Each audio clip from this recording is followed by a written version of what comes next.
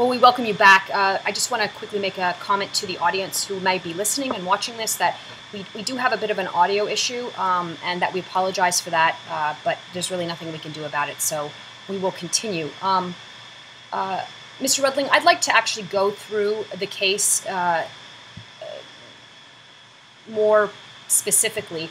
Uh, talk to me about Anna Ardin and the suspicion against Mr. Assange with regards to her first.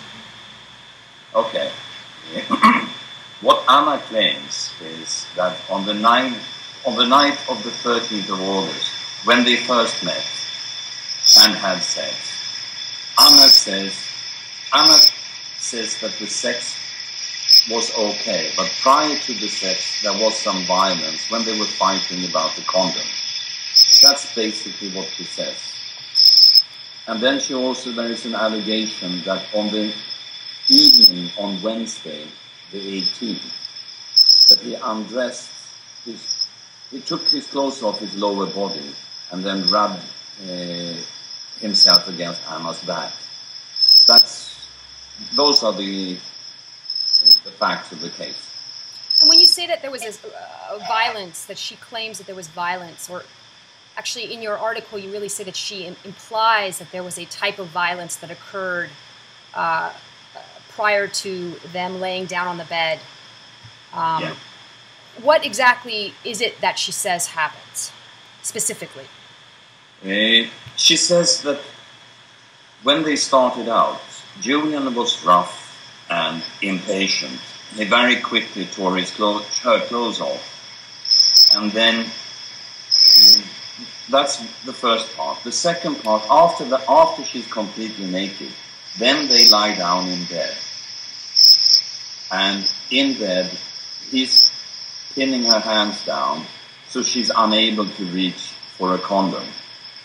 And it's this part which is described as being violent. He's holding her hands so she cannot reach a condom. Uh, after a while, he doesn't understand why this fighting is going on, so he asks her a question, what's up? And she says, I want you to use a condom. After she said that, he releases her hands, puts on a condom, and then they have sex, which is obviously consensual.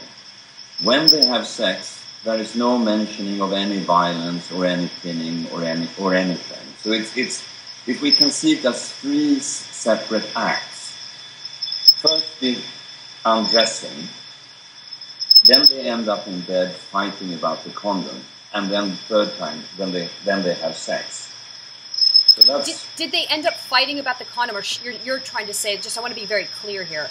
You're trying to communicate that she implies that there was a fight over the condom, but when, uh, and you make this point in your essay that one can't read another person's mind, and so when he asks what is going on, and she expresses the fact that she would like uh, for there to be a condom uh, used, that he releases her arms and therefore, yeah. in your analysis uh, from your essay, you say the implication there's an insinuation of violence, but if you actually look at the uh, specific acts very clearly, uh, there is no violence actually occurring. There is no crime occurring because the act of sex was actually consensual based on her witness statement. Yeah.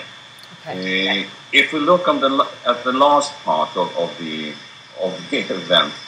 The sex is, is, is consensual and there is no violence. There's nothing going on with the sex part. It's just this wrestling part. In order, in order for it to be a crime, you have, you, have, you have to use violence and then you have to have some type of sexual act connected to it. In this case, there isn't. If I would, if I would hold your hands to prevent you from reach from reaching uh, a pizza. Is that a crime? Right. and then you can say, well, if I if I if I hold your hands to prevent you from reach, reaching the pizza, and then I have sex with you, then it is rape. Probably you wouldn't talk about the pizza. Right.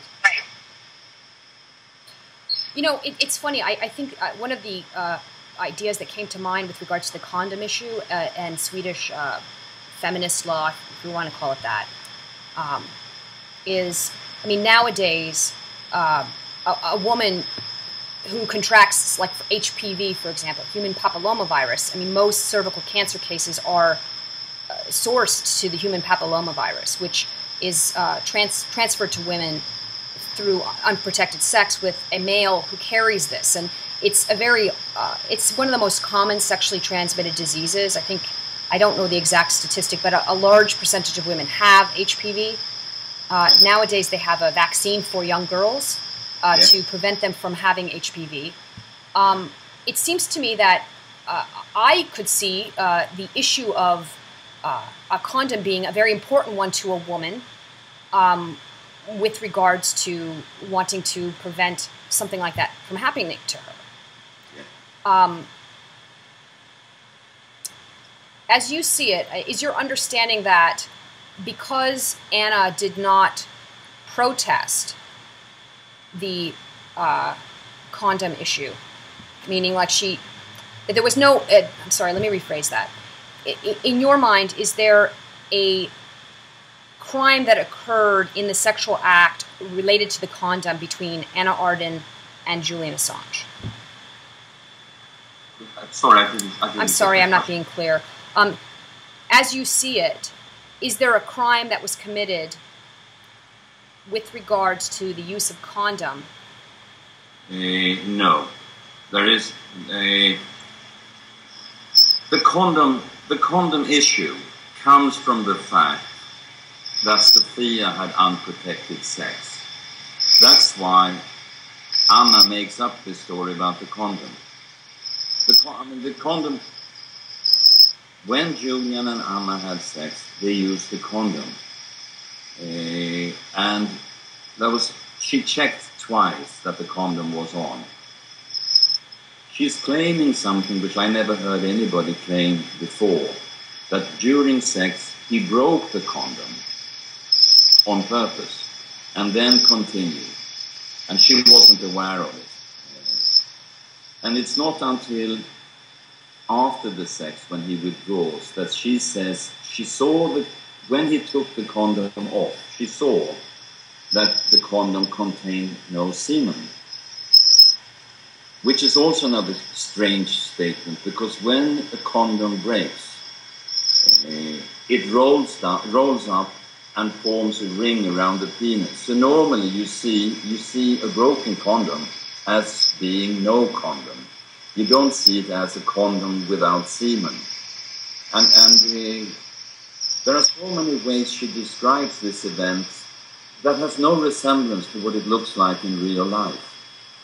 And what's even more important to me is that when, when she says the condom, is, the issue of the condom is so very important, she doesn't check the condom.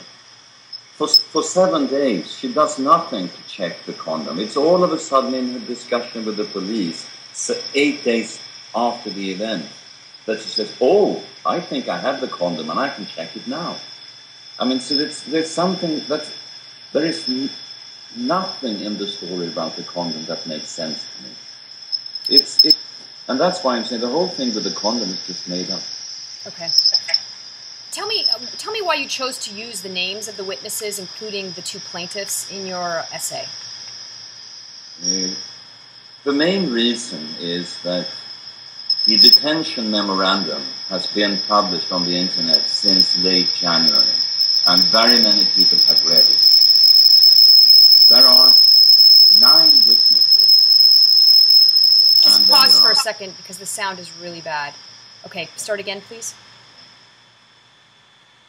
from the beginning? Uh, no, just just uh, from the Nine point where you talk about um, how long the um, uh, how long the names have been on the internet.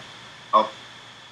Uh, since late January, the detention memorandum has been published on the internet. So lots of people have read it and they have seen the names in, in the detention memorandum. And when I write about it, if I would have called it witness one, witness two, witness three, it would have become very confusing. So I used their real names. Uh, it just it's just for an issue to make it clear.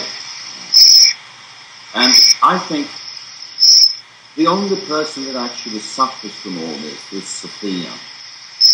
Because I can't see that she's she's not making she's not coming up with false allegations. She's been involved in this, she was very worried, and she ends up in this mess without her really wanting it. And, and, so and how do you get that sense? Where do you get that from? Uh, because when I when I read what actually has happened, she had sex with Julian, and then when they depart, they, she says, "Please call me," and he says, "I will call you," and and he won't. She tries to call him, and he never returns calls. She, because of it's the first time in her life that she has had unprotected sex, and she's very very worried about disease and particularly HIV.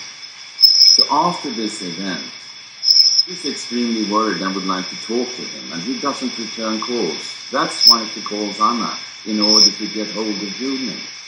It is not to report that she's been raped. It's not, it's, she would like to talk to Julian, and she can't. And when Anna hears about this story, then she sees an opportunity to use Sophia as some kind of tool to get to Julian. Anna uses Sophia in order to have Sophia to report Julian. And that's why I call it revenge by proxy. I, would like to, to um, actually uh, look at that more closely, but let's let's talk about Sophia again.